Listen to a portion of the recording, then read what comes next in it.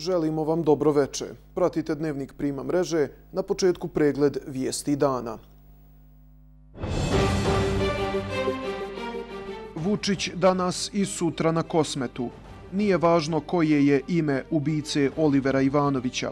Prema počinjocima i nalogodavcima neće biti milosti, izjavio predsjednik Srbije.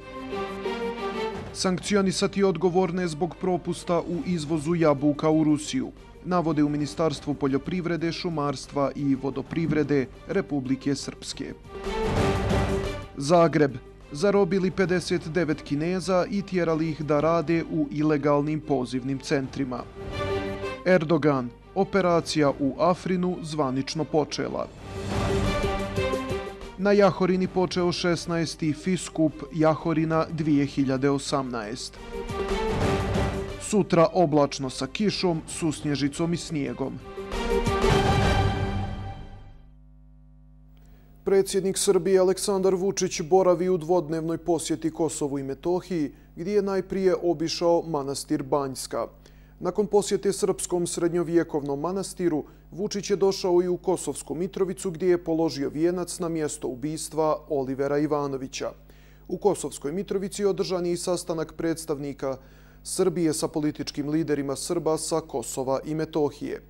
Vučić je izjavio da nije važno koje je ime ubice Olivera Ivanovića, niti koje je ime nalogodavca, da li je srpsko, albansko ili bilo kojeg stranca i poručio da prema počiniocima i nalogodavcima neće biti milosti. Vučić je to rekao nakon tročasovnog sastanka sa političkim i privrednim predstavnicima Srba sa Kosova i Metohije i naveo da je razgovor bio u tome kako da narod ostane i opstane na svojim ognjištima. Pod krupnim snijegom i uz zvuk manastirskih zvona Vučića je dočekalo sveštenstvo manastira i vladika Teodosije kao i veliki broj građana koji su nosili zastave Republike Srbije i kombinata Trepča. Predsjednik Vučić je poručio Srbima na Kosovu i Metohiji da moraju da ostanu i opstanu na svojim ognjištima uz dalju i veću pomoć države, a Albancima da bez obzira na različite interese Srbija želi i učinit će sve da očuva mir i riješi razmirice. Srbi moraju da ostanu i da opstanu na svojim ognjištima, a država Srbija je pomagala, a pomagaće zbog svega onoga što smo uspeli da uradimo i mera fiskalne konsolidacije, suficitu u budžetu ekonomskog napretka pomagaće više u budućnosti. Vučić je rekao i da je došao da razgovara sa građanima koji su uznemireni nakon zločinačkog ubistva Olivera Ivanovića. Mi ćemo razmenjivati informacije, pošto vidim da govore o razmeni informacija, iako smo tražili da učestvujemo u istrazi. Ali ćemo da sačekamo ne priče za novine, već konačne rezultate istrage, da vidimo hoće li oni dovesti do počinilaca gnusnog zločina u Kosovskoj Mitrovici ili ne. Ako se to ne desi, onda će nam mnoge stvari biti jasnije, kao što sam rekao i prvog dana kada je ubistvo počinjeno. Ali po pitanju bezbednosti i sami ćemo morati da razgovaramo i da pronađemo nove moduse kako da bezbednost i mir građana srpske nacionalnosti učinimo, rekao bih, jasnijim, vidljivijim i da uznemirenje bude manje. Za nas je veoma značajna današnja posjeta predsjednika, jer svi mi koji živimo na Kosovu i Metohiji u teškim uslovima znamo da ne možemo uspjeti bez pomoći naše države, poručuje episkop Raško Prizrenski Teodosije. Potrebno je da prvo mi imamo i hrabrosti i snage i trpljenja da opstanemo na ovim prostorima, ali kao što rekoh, jedino uz svesrednu pomoć naše države, kao što je to i do sada bilo. Ovde u manastir Banjsku, danas smo se svi sabrali.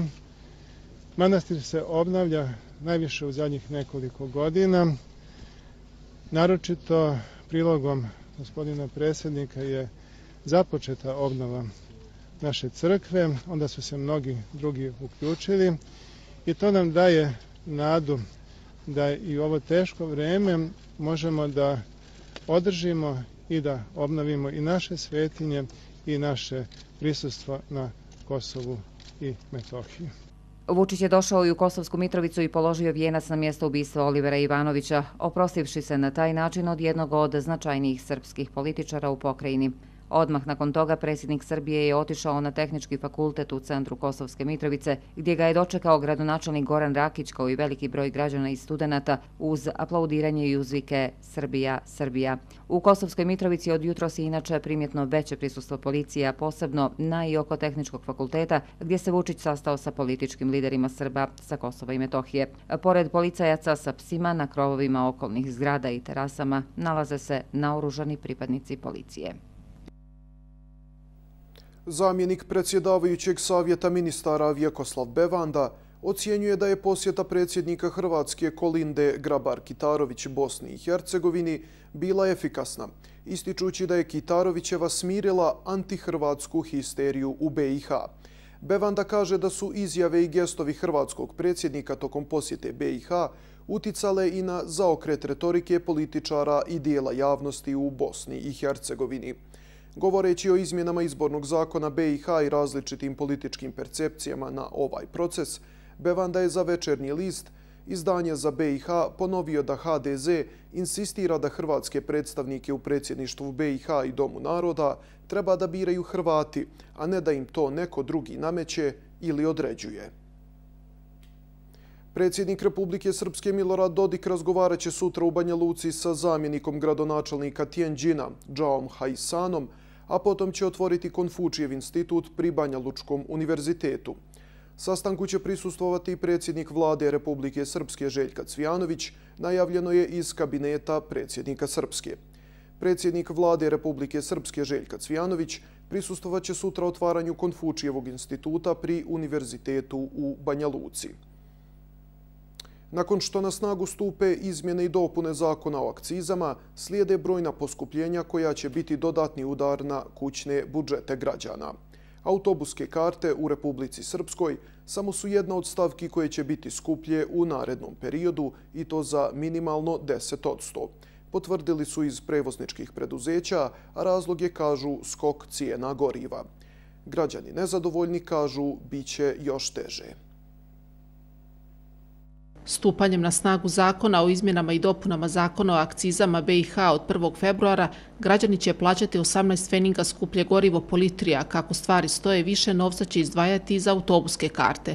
Dejan Mić, direktor autoprevoza Banja Luka i podpredsjednik Unije udruženja poslodavaca Republike Srpske, tvrdi da će cijena karata i u gradskom prevozu i u međunarodnom saobraćaju biti povećane za minimalo 10%. Mi smo prisiljeni da zbog toga izvršimo povećanje i usklađivanje cijena e, prevoza i u gradskom, prigradskom i međunarodnom, odnosno međugradskom saobraćaju. E, očekujemo da će to povećanje po sadašnjim procenama biti nekdje do 10% i ono bi trebalo da stupi na snagu znači sredinom februara, odnosno početkom marta. Građani naviknuti na nova poskupljenja nisu iznenađeni onim što ih čeka, iako smatraju da je poskupljenje cijene karata veliki udar na džepove građana.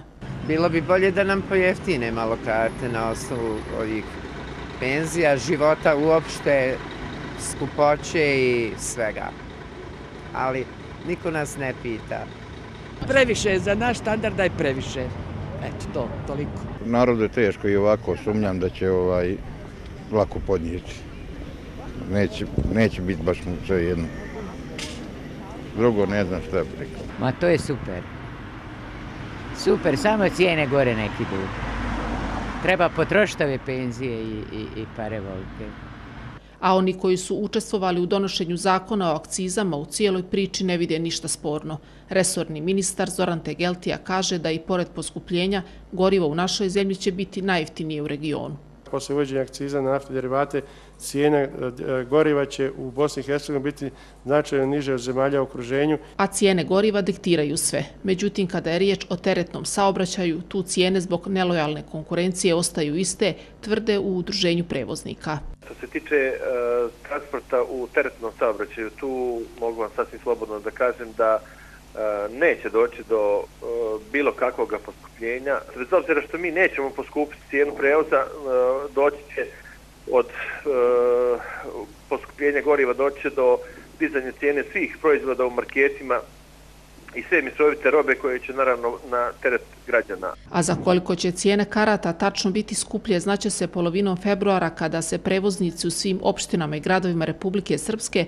trebaju usaglasti sa nadležnima. Međutim, činjenica jeste da koliko god poskupljenje bilo, ide na teret potrošača, pa će zbog poskupljenja prevoza neke druge potrebštine iz potrošačke korpe morati izostati.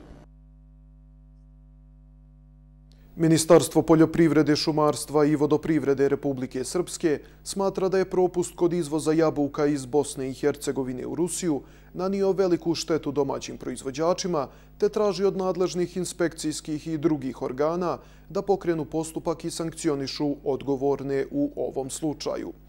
Ruska federacija ponovo je uvela zabranu za uvoz jabuka iz Bosne i Hercegovine koja stupa na snagu u ponedjeljak 22. januara.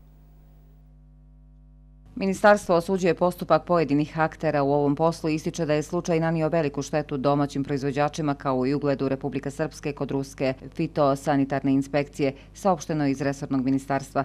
U saopštenju se posjeća da je u prošloj godini fitosanitarna inspekcija Republike Srpske izdala oko 1200 fitosanitarnih sertifikata za pošiljke voća i povrća koje su izvezene na rusko tržište. Nismo imali slučajeva da je pošiljka vraćena, što je najbolji dokaz da je fitosanitarni nadzor u Republici Srpskoj efikasan, navodi se u saopštenju. Ministarstvo zbog svega toga traži od nadležnih organa i institucija da izvrše kontrole u dijelu svojih nadležnosti i utvrde odgovornost svih aktera, te djeluju na takav način kako se ovakvi slučajevi više ne bi ponavljali. Ruska federacija ponovo je uvela zabranu za uvoz jabuka iz Bosne i Hercegovine koja stupa na snagu u ponedjeljak 22. januara. Razlog za uvođenje ove mjere jeste što je kompanija iz Bijeljine prepakivala prema navodima ruske strane jabuke porijeklom iz Poljske i izvozila ih u Rusiju. Pošiljku jabuka pratio je fitosanitarni sertifikat izdat od fitosanitarnog inspektora Brčko distrikta. PDP je u današnjem saopštenju obećao građanima da će nakon narednih izbora u Republici Srpskoj biti izgrađeno pošteno i pristojno društvo u kojem će osobe poput Milice Marković biti potpuno marginalizovane, optužujući nju i SNSD da su uvijek u funkciji zaštite kriminalaca. Na ovo saopštenje reagovala i poslanik SNSD-a u predstavničkom domu parlamenta Bosne i Hercegovine Milica Marković, ističući da je PDP generalno posljednja partija u BiH koja ima pravo da uopšte progovori o kriminalu ili korupciji i da će u istoriji Republike Srpske ostati upamćena kao partija koja je, kako je navela, tokom vladavine Srpskom od 2001. do 2006. godine provela neviđenu pljačku sobstvenog naroda ovo njihovo saopštenje je pravi dokaz kako se očajnik brani u onome što je zaista učinio i što je nanio štetu i Republici Srpskoj i srpskom narodu i svim ostalima u našoj republici. PDP je posljednja partija uopšte u Bosni i Hercegovini generalno koja ima pravo da uopšte progovori o kriminalu ili nečoj korupciji, jer će u istoriji Republike Srpske ostati upamćeni kao partija koja je vladala Republikom Srpskom od 2001. do 2006 i u tom periodu provela neviđenu pljačku sobstvenog naroda, provela legalnu kriminalizaciju i društva i Republike Srpske preko privatizacije i ostala brojne plate i penzije dužna i penzionerima i svim budžetskim korisnicima Republike Srpske koje nikada nisu ni da doknadili ni se potrudili da nešto učine na tom planu, na tom dugu koji su ostavili. Oni su dakle poslednji koji imaju pravo o tome da govore, a za njih se jednostavno može reći kao i za svaku drugu nesreću u ljudskom životu, pominjalo se, ali ne povratilo se.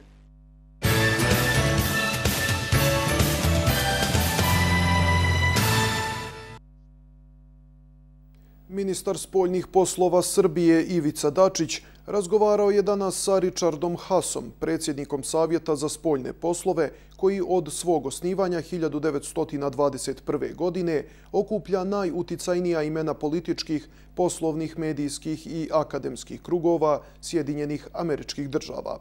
Dačić je Hasa upoznao o regionalnim prilikama i ukazao na posvećenost Srbije u postizanju regionalnog mira i stabilnosti, saopšteno je iz Ministarstva spoljnih poslova Srbije. Savjet za spoljne poslove je izdavač magazina Foreign Affairs, globalno najprestižnijeg časopisa za međunarodne odnose, navodi se u saopštenju. Povodom godišnjice smrti Vojvoda Živojina Mišića i Petra Bojovića i armijskog generala Pavla Jurišića Šturma, na Novom groblju u Beogradu održana je državna ceremonija polaganja vijenaca i odata počast. Ceremoniju je predvodio državni sekretar Ministarstva za rad, zapošljavanje, boračka i socijalna pitanja Negovan Stanković, koji je položio vijence. Vijence su položili i načelnik generalštaba Vojske Srbije Ljubiša Diković, zamjenik gradonačelnika Beograda Andreja Mladenović, potomci istaknutih vojskovođa, kao i predstavnici velikog broja udruženja opredjeljenih za njegovanje tradicija i građani. Vojvoda Živojin Mišić umro je 20. januara 1921. godine u Beogradu.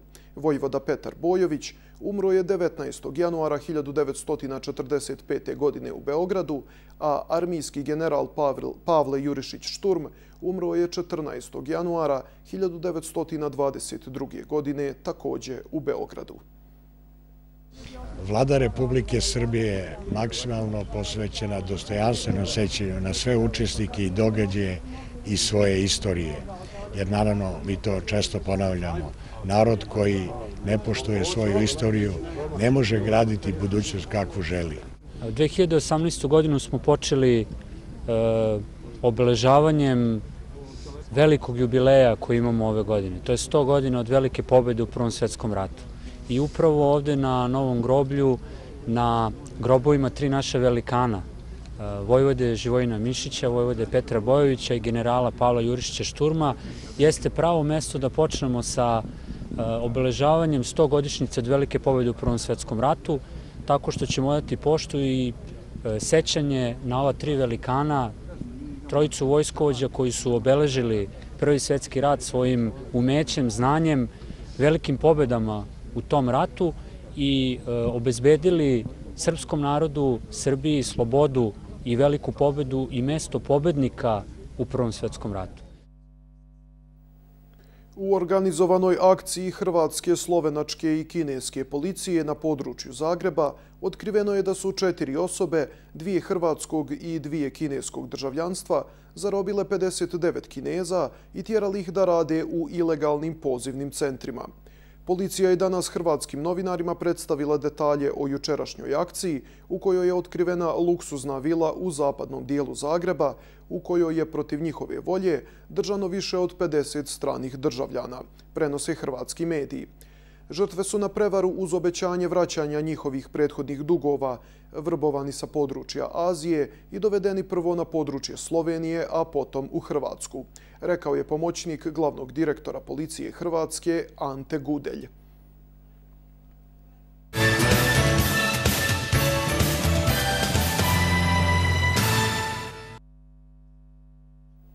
Članovi Španske mornaričke službe za spasavanje spasili su 56 migranata koji su pokušali da preko Sredozemnog mora iz Afrike stignu do obala Evrope. U saopštenju se navodi da je jutros izvršeno presretanje dva migrantska čamca, iz kojih je jedan koji je prevozio 23 migranta, primjećen u blizini Gibraltarskog moreuza, dok je drugi čamac na kojem su se nalazila 33 migranta iz područja roga Afrike, primjećen u blizini ostrva Alboran. I službe upozoravaju da bi ove godine moglo doći do dodatnog povećanja broja migranata koji u Evropu dolaze zapadnom rutom preko Sredozemnog mora. U nastavku još nekoliko vijesti iz svijeta. Rad vlade Sjedinjenih američkih država je blokiran nakon što američki senat nije usvojio novi prijedlog u budžetu, prenijeli su američki mediji. Mediji prenose da prijedlog budžeta o finansiranju vlade do 16. februara nije dobio potrebnih 60 glasova. Ovo je prvi put da je vlada blokirana u trenutku kada republikanci kontrolišu i rad Kongresa Sjedinjenih američkih država i Bijele kuće. Iz Bijele kuće su optužili demokrate kako su građani taoci njihovih nesmotrenih zahtjeva. Lider demokrata u senatu Chuck Schumer je izjavio kako je američki predsjednik Donald Trump odbacio bilateralne kompromisne dogovore i nije izvršio pritisak na predstavnike svoje stranke u Kongresu, prenosi BBC. Predsjednik Sjedinjenih američkih država Donald Trump okrivio je demokratske poslanike za blokadu vlade koja je stupila na snagu, prenijeli su američki mediji. Turske snage su izvršile nove napade na položaje kurdskih militanata u sjeverozapadnoj Siriji, saopšteno iz Turske vojske. U saopštenju se navodi da je Turska vojska na dvodnevno uznemiravanje od Kurda odgovorila napadima na utočišta i skrovišta militanata u Arfinu, koji je navodno pod kontrolom Radničke partije Kurdistana, koju u Turskoj smatraju terorističkom organizacijom. Turski predsjednik Recep Tayyip Erdogan izjavio je da će poraziti sirijsku kurdsku vojsku u Arfinu, koju vidi kao prijetnju državnoj bezbjednosti Turske. Erdogan je operaciju protiv sirijskih kurda nazvao antiterorističkom. Novinska agencija Anadolija prenijela je da je Erdogan ponovo kritikovao Sjedinjene američke države zbog pružanja podrške sirijskim kurdima. Velika Britanija mogla bi da postigne poseban sporazum o trgovini sa Evropskom unijom nakon Brexita, izjavio je predsjednik Francuske Emmanuel Macron. Francuski predsjednik je tokom gostovanja u emisiji Andrew Amara, koju emituje BBC, upozorio da Britanija neće imati puni pristup jedinstvenom tržištu ukoliko ne prihvati pravila tržišta. Macron je napomenuo da London ne može da bira elemente koje želi i dodao da bi sporazum sa Velikom Britanijom mogao da predstavlja nešto između pristupa jedinstvenom tržištu i sporazuma o trgovini. Američki ratni brod uplovio je u teritorijalne vode Kine u Južnom Kineskom moru bez dozvole i time ugrozio suverenitet Kine, saopšteno iz Kineskog ministarstva spoljnih poslova. U saopštenju se navodi da je američki razarač uplovio u kineske vode 17. januara na oko 12 nautičkih milja od ostrava Huangyang. Iz ministarstva dodaju da je kineska mornarica u skladu sa zakonom izvršila provjeru američkog plovila i upozorila posadu da mora da napusti teritorijalne vode Kine, prenosi Sputnik. Postupci vojnog plovila Sjedinjenih američkih država narušavaju suverenitet suverenost i bezbjednostne interese Kine i ozbiljno ugrožavaju bezbjednost kineskih plovila i njihovih posada, navodi se u saopštenju. Na Jahorini je danas počeo 16. fiskup Jahorina 2018 vožnjom veleslaloma u muškoj i ženskoj konkurenciji. Na ovogodišnjem fiskupu održanom na stazi Prača Skočine Učestvovalo je 60 takmičara iz 16 država, a tehnički organizator takmičenja je Sportsko-planinarsko društvo Jahorina. Fiskup Jahorina 2018 organizuje se u okviru kampanje Put za EJOF 2019, a ujedno je i testno takmičenje za Evropski omladinski olimpijski festival, koji će sljedeće godine biti održan u Sarajevu i Istočnom Sarajevu. Uprko smagli i nepovoljnim vremenskim uslovima, veleslalom je protekao u najboljem redu i na najbolji mogući način. Neumorna ekipa redara bez prestanka je radila na stazi, čistila višak snijega i učinila je sve kako bi se trka održala. Organizatori ističu da je ova trka odličan test za EJOF koji će sljedeće godine jednim dijelom biti održan i na Jahorini. Naš cilj ove trke, kao i prošle godine, jeste testirati sve segmente organizacije, s obzirom da naredne godine nas čeka organizacija F2019. Moram da napomenem da imamo 16 zemalja učesnica, da su danas tu zaista prisutni svi segmenti organizacije koji će biti prisutni i naredne godine, od samih organizacija, organizacije ceremonija, zatim do cateringa, israne, security-a, teškog organizatora same trke. Stiče se utisak da će olimpijska ljepotica Jahorina ponovo sijati starim sjajem, baš kao 1984. godine i da će biti odličan domaćin ne samo mladim sportistima, već i svim ljubiteljima zimskih sportova. E, pa mi se nadamo da ćemo uspjeti organizovati na što većem nivou EOF. E, imamo jako dobre preduslove, kao što znamo Sarajevo, Istočno Sarajevo imaju e, sjajna zimska borlišta, imaćemo osam sportova, Mi se trudimo da, da to organizujemo na što boljem znači, nivou. Ono jedino čemu se nadamo jeste dobro vrijeme da nas posluži snijeg i da ga eto, možda čak i imamo viška nego da imamo manjka. Sve ostalo znam i nadam se da će biti u najboljem redu. Ovo borilište znači, će biti i za u februar 2019. gdje ćemo uspjeti da održimo slalom, vele slalom, disciplina slalom, vele slalom za EU 2019. Organizatori se nadaju da će, zahvaljujući EOF-u 2019, kvalitet skijanja podići na mnogo veći nivo, ali i popularizovati zimske sportove među djecom na našim prostorima. Jedan od onih koji je mnogo učinio za promociju skijanja, kao i same Jahorine, je naš olimpijac Marko Rudić. Pa Jahorina je definitivno sposobna da organizuje tako jedno veliko takmičenje.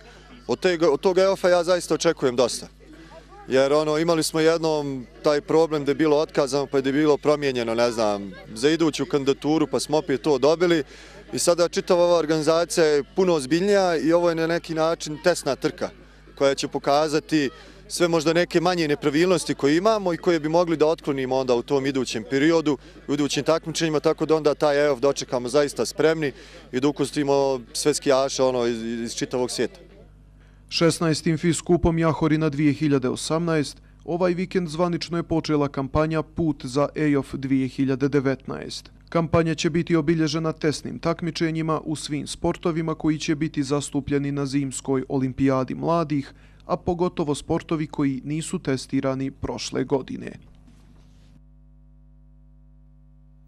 Najbolji srpski teniser Novak Đoković plasirao se u osminu finala Australian Opena, pošto je u trećoj rundi pobjedio španca Alberta Ramos Vinjolasa sa 3 naprema 0 po setovima.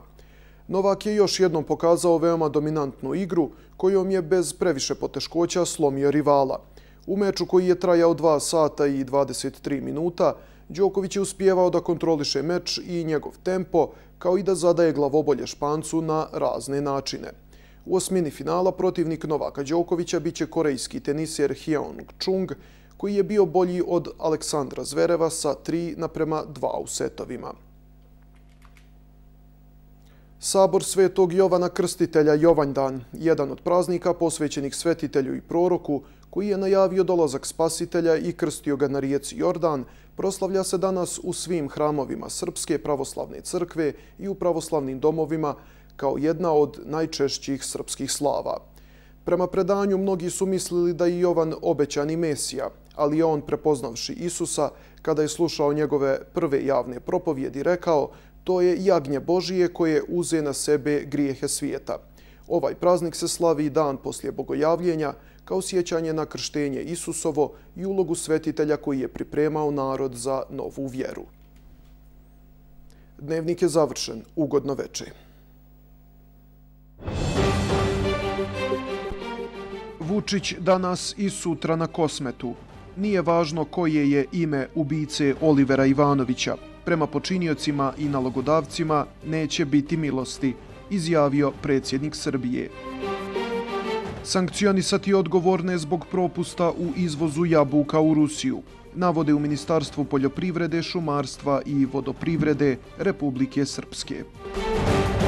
Zagreb zarobili 59 Kineza i tjerali ih da rade u ilegalnim pozivnim centrima.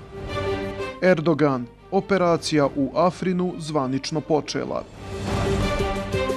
Na Jahorini počeo 16. Fiskup Jahorina 2018. Sutra oblačno sa kišom, susnježicom i snijegom.